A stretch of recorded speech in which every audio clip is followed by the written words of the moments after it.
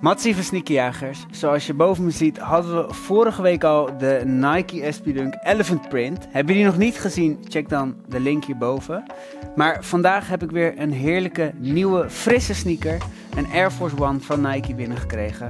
En die gaan we uiteraard in deze video unboxen. Zoals je al kan zien aan de doos, hebben we een Nike Air Force One doos. En dat betekent natuurlijk dat er een Nike Air Force One in zit. Zo logisch is het. Uh, maar wel een hele speciale. Hij is namelijk onderdeel van de 3M pack van Nike. Uh, daar zijn een aantal schoenen onderdeel van, waaronder deze Air Force One, maar ook bijvoorbeeld een Air Max 90. En kenmerkend aan deze pack zijn dus die 3M elementen die zorgen dat de sneaker reflecteert in het donker, een extra effect geven. Je ziet het ook bijvoorbeeld hier op de tong, die 3M branding. Uh, vrij bekend in de, wordt voor allerlei dingen gebruikt, maar dus ook steeds vaker op sneakers. En nu hebben we dus een Air Force One met die 3M elementen erop, waardoor de sneaker extra reflecteert. De Air Force One is natuurlijk een van de meest klassieke basketbalschoenen van Nike. Het is dus van origine een basketbalschoen. In de jaren 70 had je bijvoorbeeld de Blazer, maar in de jaren 80 kwam dus die Nike Air Force One met daarin de Air-technologie. Hij zit hier in de midsole. Je kan het ook zien aan die Air-branding op de midsole. En door de jaren heen zijn er superveel versies uitgekomen van die Air Force One. Een Sage versie, een Shadow versie, een High, Low, Mid. En uh, ook bijvoorbeeld een onlangs gereleased Pixel versie. En nu dus met 3M elementen, reflecterende elementen op de Air Force One. En uh, dat misstaat de sneaker zeker niet. Zoals je kan zien zitten die 3M elementen op een aantal plekken op de schoen. De meest prominente is natuurlijk hier bij de hak. Um, dit zilverkleurige materiaal met soort van um, ja, honingraad patroon. Dat zie je dus hier op de hak en die loopt ook door naar de andere kant, naar de binnenkant van de sneaker. Maar ook hier bij de voorvoet zie je datzelfde materiaal en dat zorgt er dus voor dat je wanneer bijvoorbeeld een auto in het donker op je schoen schijnt, zie je dat reflecteren en ziet die auto jou.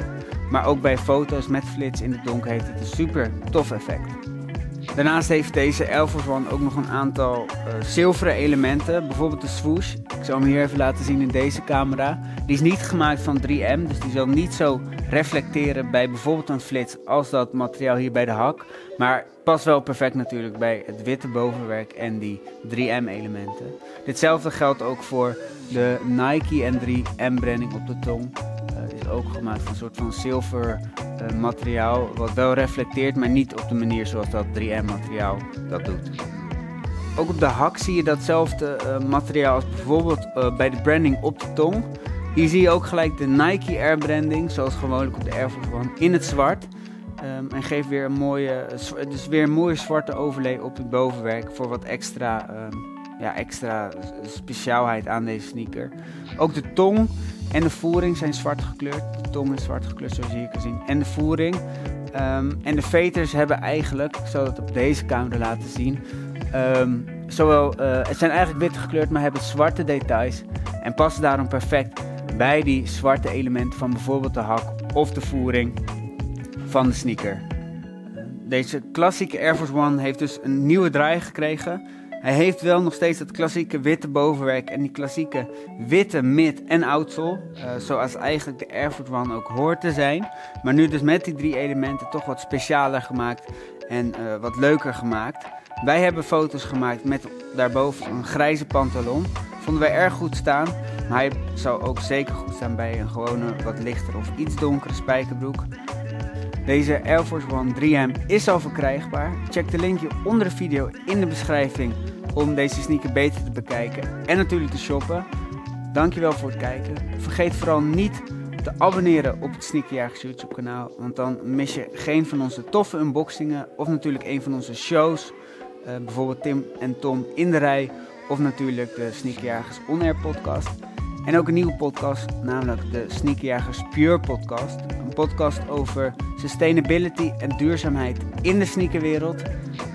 Echt een aanrader, dus die zal ik hier ook boven neerzetten, zodat je daarop kan klikken en gelijk naar die podcast kan gaan. Dankjewel voor het kijken. Ik zie jullie graag weer bij een nieuwe unboxing. En uh, ciao.